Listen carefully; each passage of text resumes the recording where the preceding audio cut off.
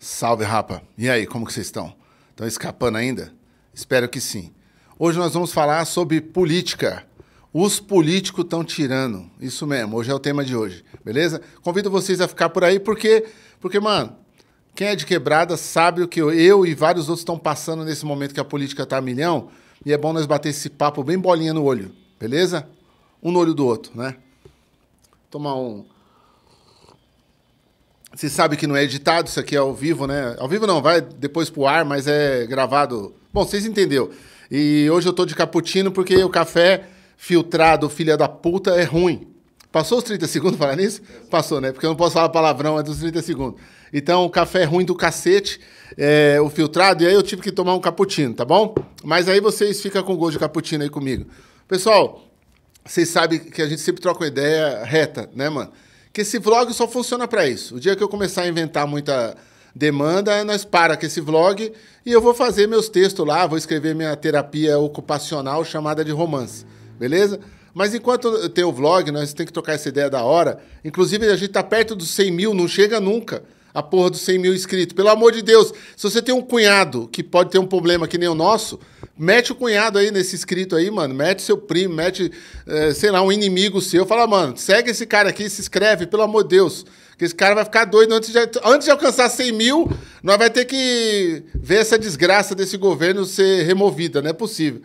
Bom, mas a todos que vocês que estão, eu agradeço de coração vocês estarem aí, certo? E a gente vai falar de política porque quê? Porque os caras acham, os caras tá confundindo, mano. Os caras tá confundindo. Eu vou falar do meu caso, que eu não posso falar do caso de ninguém. Beleza? O meu caso é o seguinte: eu ando 400, 500 quilômetros, às vezes por uma causa, para poder fortalecer uma causa. Eu estou num momento da minha vida que eu posso fortalecer algumas causas, porque eu sou fortalecido lá no Apoia-se. O pessoal que do Apoia-se barra Ferrez me fortalece. O pessoal que apoia, põe lá, apoia-se barra interferência, me fortalece. E através disso, o interferência, eu consigo fortalecer outras causas. Tem três, quatro causas que nós estamos aí direto fortalecendo. Mas aí os caras estão tá confundindo em, ser, em fortalecer político, mano. Porra, vocês estão de brincadeira comigo, velho. Vocês me ligam e me clica como se eu devesse algo para vocês, mano. Tá ligado? Sendo que quem tá na quebrada é nós. Olha aqui, isso aqui, ó. Onde nós estamos gravando esse vlog aqui, ó certo? Olha onde nós vamos gravar o podcast. Onde, onde eu estou escrevendo meus textos, tá ligado? Tudo periferia, favela, e vocês ainda acham que eu devo alguma coisa.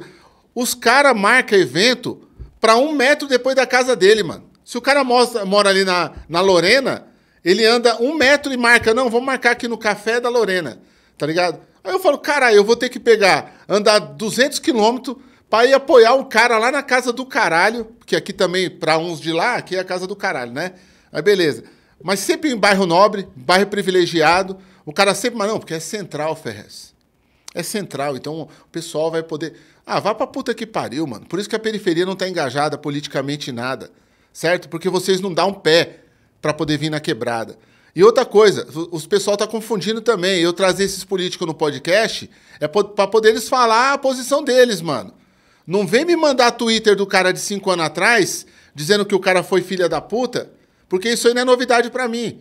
Eu não, quando o cara vem no meu podcast, o cara não tem aval de cara da hora. Porque nem eu sou da hora, mano. Tá ligado? Eu tô em construção, por que você acha que eu tenho um programa chamado Ferrez em Construção? Porque eu tô, tô tentando me construir também, caralho.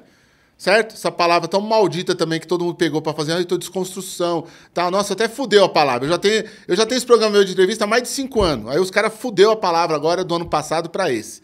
Que é, virou a desculpa também, tudo desconstrução. Mas tocando um papo reto, os políticos tá achando, mano, que, que militância é militância pró eles. E não é, irmão. Nós temos nossas causas, nós temos nossas lutas, certo? Aí o cara quer, quer me clicar, ô, oh, mano, é sábado, mano. É sábado, eu preciso de você aqui e tal. Mas, cara, você precisa de mim para quê? Quanto tempo você não vê na cola na quebrada? Ah, é, porque não é partido PMDB nem PSDB, é um partido da hora. Mas mesmo sendo da hora, quanto tempo vocês não colam na quebrada? Deixa eu ver aqui. Puta, faz uma cota, hein, mano. Quanto tempo vocês não colam no evento nosso? Num showzinho, numa palestra? Outra coisa também, vocês têm a verba de campanha de vocês. Por que, que nós é de graça? Por que, que nós é de graça? Me explica. Por que, que eu vou aí fazer uma palestra e é de graça? Por que, que o mano tem que fazer um show, o mano do rap, vai lá, vai fazer um show, é de graça? Porra, mano, vocês têm verba de campanha, rapaz? Paga os caras para poder fazer o trampo para vocês. E aí o cara não é obrigado a dar opinião política se ele não quiser. Mas se ele quiser, ele vai lá pelo menos recebendo pelo evento que ele se propôs a fazer. Certo? É uma ocupação essa porra. O Preto Góes, o Juan e vários outros militantes morreram no meio da estrada, voltando de um evento gratuito. Enquanto um partido aí pagava 60 mil reais para produção na época, na época do primeiro governo pagava para produção de uma dupla sertaneja chamada Zezé de Camargo e Luciano. Meus parceiros morreram foi voltando da palestra, mano. De graça a palestra deles, certo? Enquanto a produção por show era 60 mil na época, que hoje daria uns cento e poucos mil real no mínimo, certo? E os caras viraram o quê? Bolsominion. Olha só, hoje os caras apoiam até de graça o Bolsonaro. Então, mano, vocês tiram demais, mano. Vocês confundem militância, engajamento social, luta social, ativismo com ativismo para vocês, mano. Então vem na moral, mano. Não chega clicando, não. Não chega clicando, mandando mensagem, tumultuando. Ah, eu quero o telefone do cara. Liga o cara, acha o cara. Cadê o cara? Pô, o cara não quer me atender. Eu não tenho obrigação nenhuma com vocês, pai. Eu não sou filho de pai assustado. Eu não tenho filho de 80 anos. Eu não tenho filho de 70 anos. Eu não tenho filho de 65 anos. Tá ligado? Um candidato de 65 anos vem me ligar, tumultuar para poder ir no evento dele. Tá ligado? e ainda acho que eu tenho obrigação de. Eu tenho um filho de 65 anos meu. Eu tenho cara de acabado, né? Eu tenho cara de acabado, mas não tô tão velho assim, não, também não. A minha luta, as coisas que eu faço, que eu acho que são minha luta, que muitas vezes até me atrapalha, atrapalha meu corre. Certo? Porque aí quando eu faço uma roupa, que nem, ó. Ó que roupa bonita, ó, da onda sua, ó.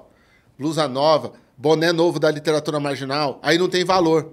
Sabe por que não tem valor? Porque eu não meto marra tá ligado? Porque eu não meto mar nos eventos, porque muitos eventos que eu vou é de coração, porque os caras me trombam em todo lugar, aí não tem valor. Aí o cara que você valoriza lá, tá lá pagando de hype, cobrando 500 real na porra do Lacoste, que não tem valor nenhum, feito lá na casa do caralho.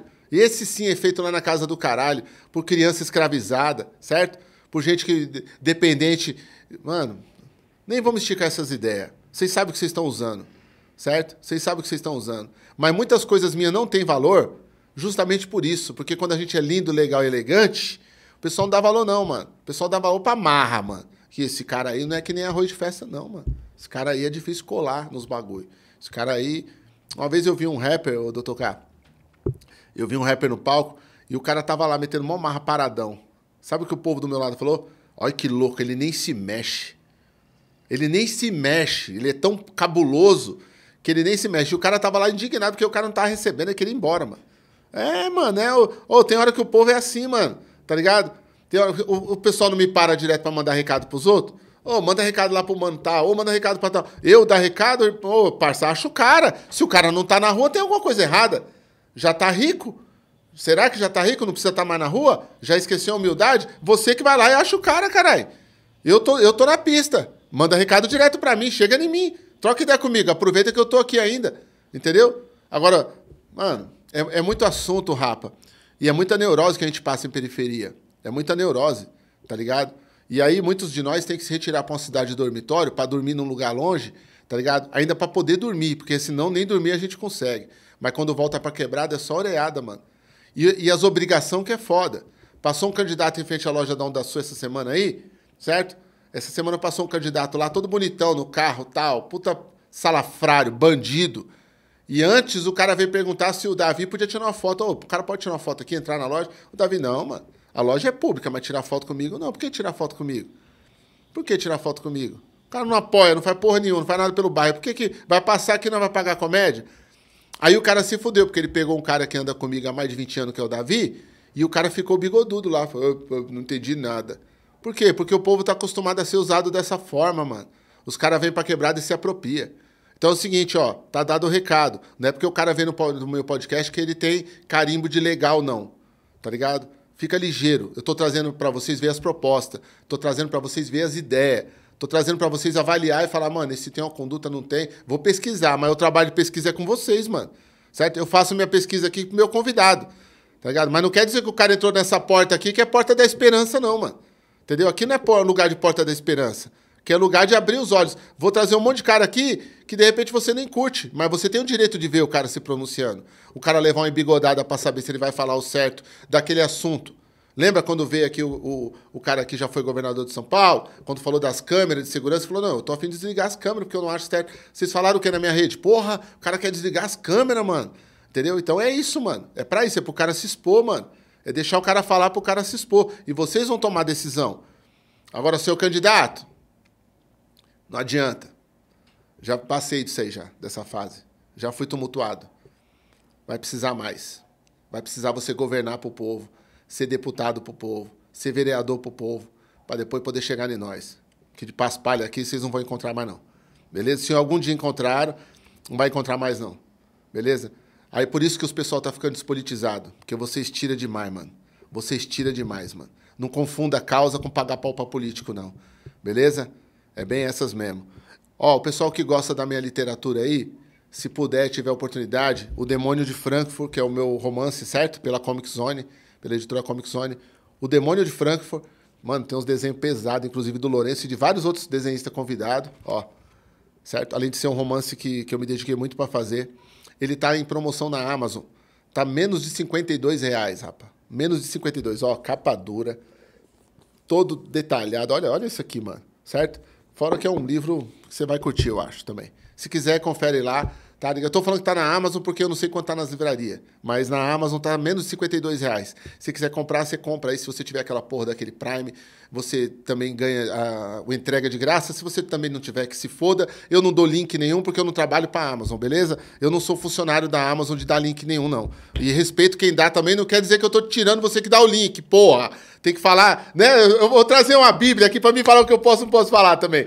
Que é capaz do cara ver o vídeo e falar, é, mano, eu passo o link aí o cara tá me tirando. Se você depende do link, meu filho, alimente sua família com o link, parabéns. O Jeff Bezos você vai construir mais bagulho lá para poder ir pra, com mísseis com formato de piroca, não tem problema. Só tô falando do meu livro. Se você quiser encontrar em loja física, também compre em loja física. Fortalece a loja física. Porra, puta que pariu.